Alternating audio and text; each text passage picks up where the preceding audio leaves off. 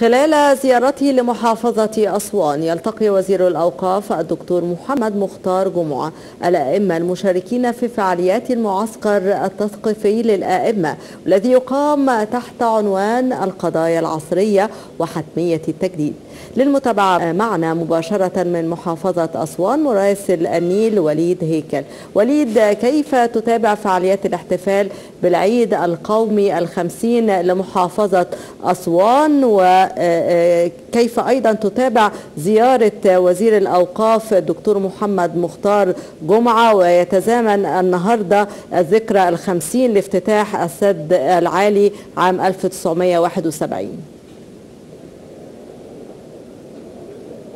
نعم شروت بالفعل من خلال كاميرا النيل للأخبار. نرصد لكم احتفالات محافظة أسوان بالعيد القومي الخمسين واليوبيل الذهبي لافتتاح السد العالي حيث قامت بالفعل محافظة أسوان منذ أمس بإطلاق شعلة أو إيقاد شعلة الاحتفال من أمام جسم السد العالي ووضع إكليل من الزهور على النصب التذكاري لشهداء أسوان كذلك قيام جولة لمعالي وزيري الأوقاف والآثار والسياحة والآثار بالأمس برفقة السيد اللواء أشرف عطية محافظ أسوان للاطلاع على ما تشهده أسوان من تنمية وتطوير خلال الفترة الحالية. بالفعل قام اليوم معالي وزير الأوقاف دكتور محمد مختار جمعة والسيد اللواء أشرف عطية محافظ أسوان بإطلاق فعاليات المعسكر التدريبي التثقيفي للأئمة. هنا في أسوان. آه كذلك آه لكن شروت دعينا نقترب من هذه الفعاليات أكثر مع آه معالي وزير الأوقاف فضيلة الأستاذ الدكتور محمد مختار جمعة.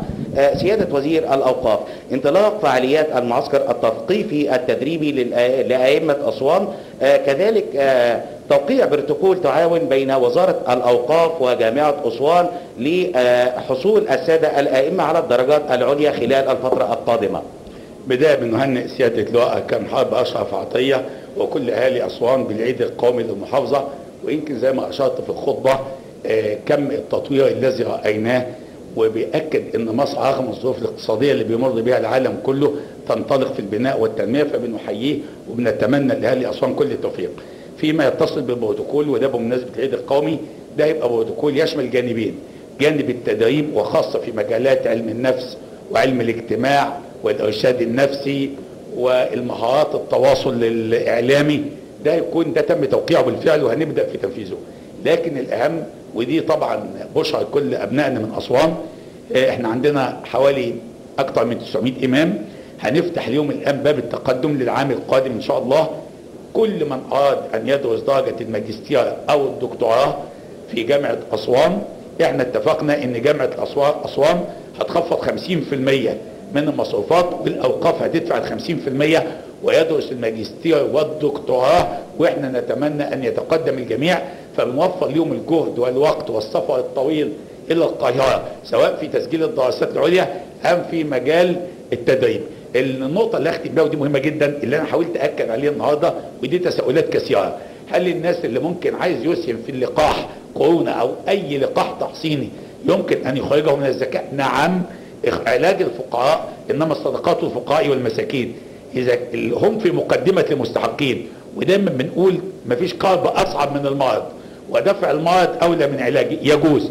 هل يجوز تعجيل؟ مش بقول يجوز تعجيل الزكاة يستحب تعجيل الزكاة عند الكروب والشدائد والنوازل.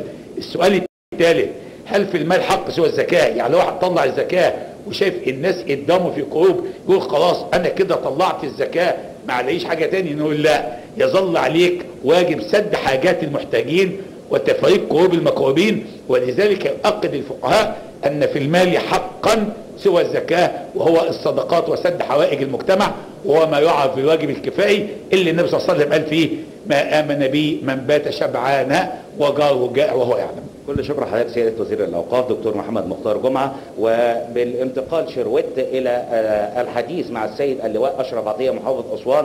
سيادة محافظ أسوان تهانينا القلبية بمناسبة الذكرى الخمسين للعيد القومي للمحافظة. ماذا عن جديد محافظة أسوان في عيدها القومي؟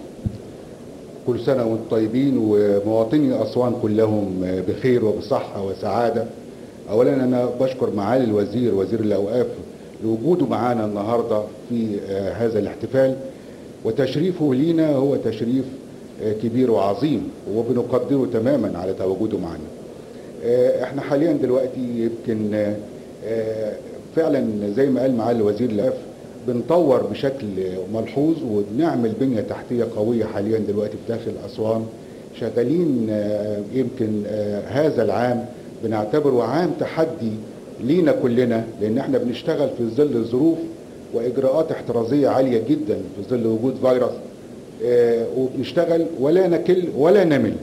وفي نفس الوقت آه، عايزين نقول إن إحنا بنطور وهنطور في كافة المراكز والمدن على غرار ما تم تنفيذه آه، في مركز أسوان. إحنا عملنا حديقة دقة النيل وخليناها شكلها منتزه يحتذى به.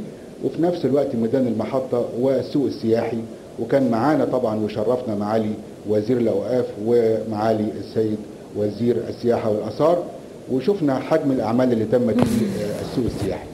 آه، إحنا بنقول لمواطني أسوان آه، إن شاء الله الفترة القادمة ستشهد إنجازات عظيمة جدا أن الحكومة والسيد رئيس الجمهورية بيراعي تماما محافظة أسوان في كافة المبادرات سواء تحيا مصر أو حياة كريمة. إحنا عندنا أعمال بتتم أكتر من 85 مليار جنيه بيعملوا حاليا على أرض الواقع داخل آه، المحافظة في كافة القطاعات سواء مياه آه، صرف كهرباء غاز اتصالات.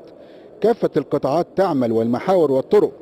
فعايزين نقول أن آه، كل الأعمال دي بتتم مع كمان حجم الأعمال اللي تمت بواسطة وزارة الأوقاف فيما يخص المساجد والتطوير وإنشاء جديد واحلاله لبعض المساجد المتهالكة.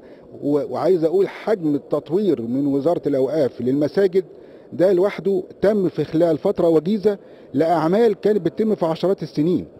فده كل الشكر والتقدير طبعا لوزارة الأوقاف وعلى راسها طبعا الدكتور محمد مختار جمعة. كل الشكر والتقدير ليكم وكل عام وأنتم بخير. وإن شاء الله السنة القادمة نيجي ونحتفل تاني وإن شاء الله نشوف ما هو جديد داخل أسوان إن شاء الله. كل شكر لحضرتك سيادة اللواء أشرف عطية محافظ أسوان. اذا زميلتي العزيزة شروت بالفعل أسوان التي تشهد طفرة تنموية وكذلك آه، طفرة في المشروعات الجمالية التي تتم الآن هنا على أرض المحافظة لتكون بحق واجهه سياحية لكل زائرها.